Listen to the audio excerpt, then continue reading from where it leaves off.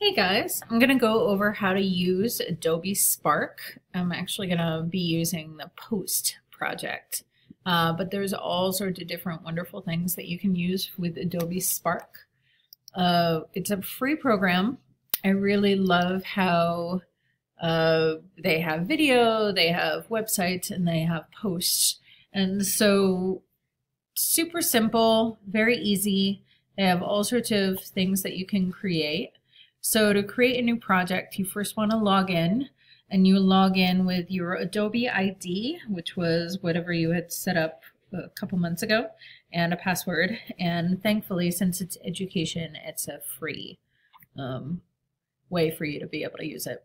So real quick to make it, I'm on the Spark projects and I'm going to go to plus on the top middle.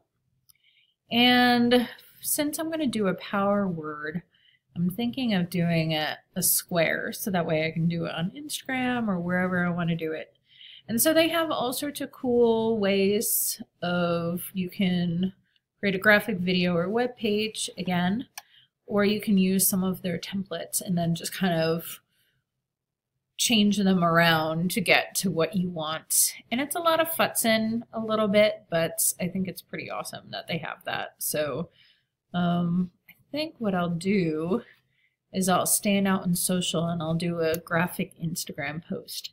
So right now I'm seeing that it has a thing where I can change it says combine images in a grid. If I want to do that, I can do that. So I can switch this to this kind of thing, or I can make it on top, or I can do it to the side, whatever I want, or I can just kind of keep it the way it is. Um, I can then, I just double click and I change this to what my power word will be, which is create, and then done. So easy peasy.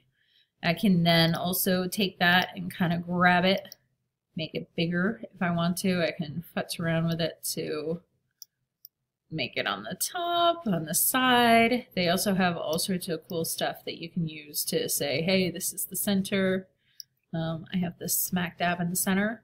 Or if I want to have it up here, I can. And the little purple line shows me where it's going. Or I can, you know, I can kind of put it wherever it wants. But of course, Adobe's like, hey, here's the center here. And the other line will show me where it's in completely the center. And again, if I want to make it a little bit bigger, I can kind of futz around with that. From there, I can also change it to left align, center align, right align, just like you would see with any other stuff. I can change the font to all these different kind of cool, funky fonts, but quite frankly, I like the way it looked to begin with. Uh, let's see, what did I have it before? Create. I kind of like create just like that. But I'm also going to have to see what it looks like once I have a photograph in there. Uh, I can then click on here and I can add an image. So I want to add a photograph. So I'm going to upload a photograph of mine. I have this Japanese garden picture that I really like, and I'm going to see how it looks on it. It may be a big wash. It might be like, oh, that looks horrible. And so you just kind of have to change it. Uh, since it's a pretty large photo, it might take a minute for it to come up. Oh, here we go. Oh, that looks kind of cool. And I'm just going to make it so there is no grid. How do I do it? I don't want a grid. How do I get rid of the grid?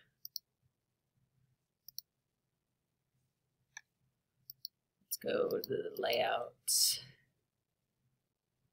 I don't want a grid. Well, you might have to play around with it because I don't want that grid. I think that looks kind of horrible. But anyway, that is the basic logistics of it. I'm going to have to change it. I kind of like how that looks. I can also take this part off. And, and I can also remove the Adobe Spark logo if I want to. But it looks pretty cool. I, like I said, I, I want to delete. Oh, there we go. Delete section. Oh, there we go. That's how you do it. So again, it's a lot of just kind of playing with it, but it's super easy. And I like how incredibly simple it is I'm going to go back to the design. I'm going to change the variation. Oh, that looks kind of cool. I'm going to see what sort of stuff I can do. And then the very cool thing is that I can just save it and then I put it on my Instagram and it looks so cool. Wow, that looks actually really hot. Kind of digging that. Let me see if I can go to this. Oh, and I can also move around my photograph. See, I kind of kind of futz around and play around with it, but I think personally it looks pretty fantastic. So when I'm happy with it and I say, hey, that looks fantastic, I can then go download and I save my post and it'll be down here. Let's see if it goes download. Let me see if it, oh, it's right there. And it's right on my computer. You just download it and look at how gorgeous it looks. I'm so excited. And that took me all of not even five minutes. So enjoy, play around with Spark, see what you think, and go from there. Cheers. Bye.